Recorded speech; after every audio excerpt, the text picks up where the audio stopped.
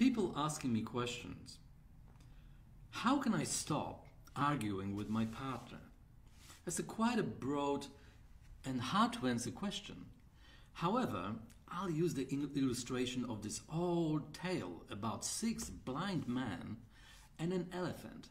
Their task then in the story was to touch a part of the animal and then describe what they were feeling and what do they think what the animal looks like. So one of them was touching the trunk, one of them was touching the tusks, one of them was touching the tail, and one of the been touching just a big body on the side like a big wall, and then one of them was uh, um, ex- experiencing touching the legs of the elephant, and then they reported.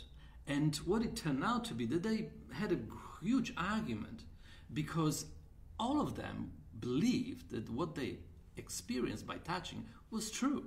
And they were right, they were, they were true. However, they did not see the whole big picture of the whole animal.